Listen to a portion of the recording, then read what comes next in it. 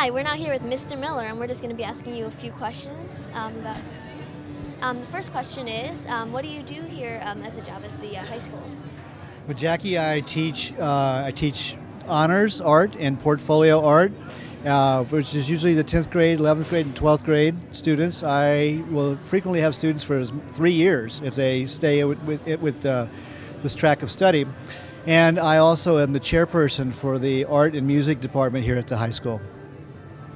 Where did the idea for the art show come from?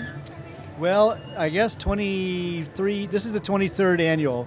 So, right before that, there was a woman who was the uh, supervisor for the arts here in the district, and her name was Sherry Parsons. And she started the, the whole art show, uh, the annual art show idea.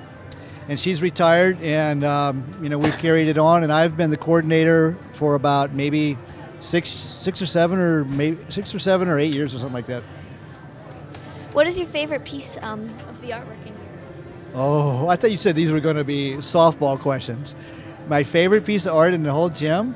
I'm thinking one of my favorite of the moment is this.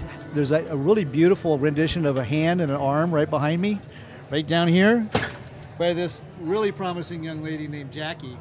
That's one of my new favorite pieces. Thank you. What is it like to put the art show together?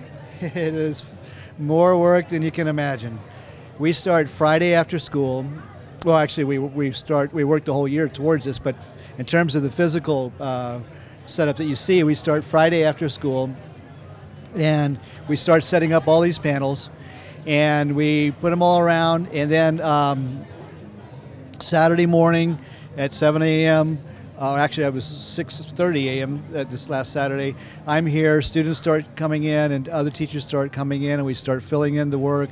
Because when you set up a show, like the the older kids, the high school kids who set up their own exhibits, uh, as soon as you start putting up something, you all of a sudden think it's not the right space.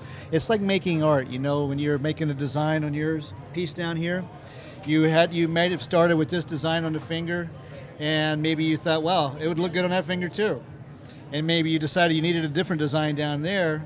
And maybe if you were working in pencil you might have thought well i would rather have that somewhere else and you erase it and you edit. So you're constantly editing and changing things. And i tell the students that they can do that as long as much as they want but come monday evening uh, which was i guess yesterday? No two days ago. Come monday evening it's it's the end.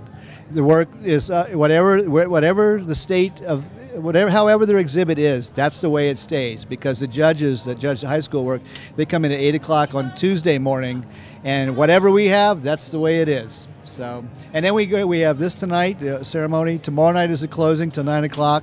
Students will start taking down their work right after uh, at the end of the night tomorrow night.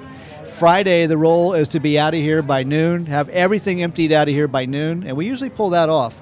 It's a lot of work, but it is very, very worth it. What is the best part about putting the show together? Uh, the best part about putting the show together. The best part of putting the show together is when it's all up. It starts. The best part starts this evening for me. We've just had the ceremony, you know, the award ceremony. I threw in the introductions because I always get really nervous with that stuff.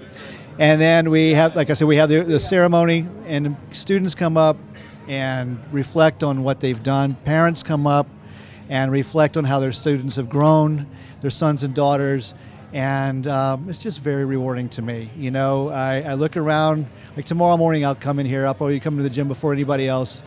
We'll flip on the lights, and I look around and I look, you know, I just gaze my eyes all the way around and all around the floor, and I think, I'm exhausted, but it was a, it was well worth it, and I can't wait to do it again next year.